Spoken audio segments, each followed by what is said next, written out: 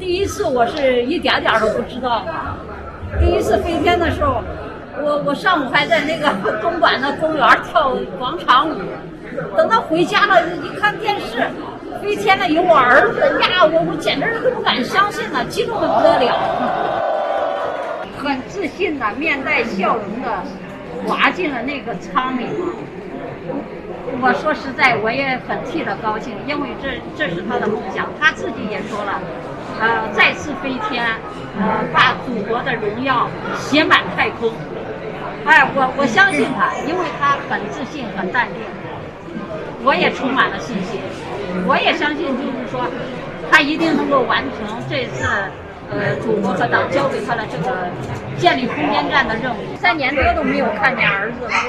我也觉得他明显的就是两边都有白头发了嘛，有点老。